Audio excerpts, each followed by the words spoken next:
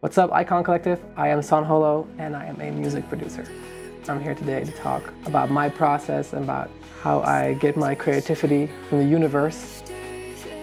For my new song, Don't Look Down, I used a lot of the guitar functioning as a synthesizer, using delays, reverbs, and other effects to make it sound like anything but a guitar. Don't Look Down is about realizing that all your thoughts and doubts are just like clouds passing by, and that whatever happens, no matter how down or sad you are, don't look down, keep going. I've made the best music when I was open to life and inspiration flowing, finding your sound. That's a huge part of it, but I think an even bigger part is finding the feeling that you want to evoke. And that feeling oftentimes is a feeling that comes from deep within yourself.